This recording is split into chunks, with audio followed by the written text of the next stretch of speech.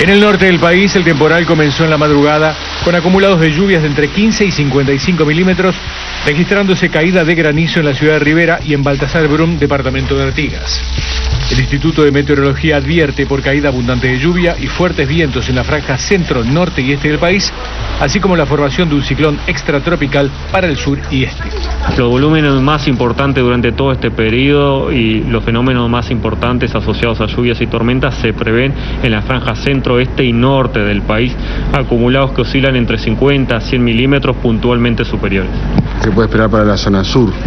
Bueno, en el sur tal vez lo, más destacado de toda esta situación, de, de, esta inestabilidad, va a estar asociado a la profundización de un ciclón extratropical, lo cual nos va a generar un incremento en la intensidad del viento en el sur y este del país a partir del martes en la tarde y durante la jornada del miércoles, viento de componente este-noreste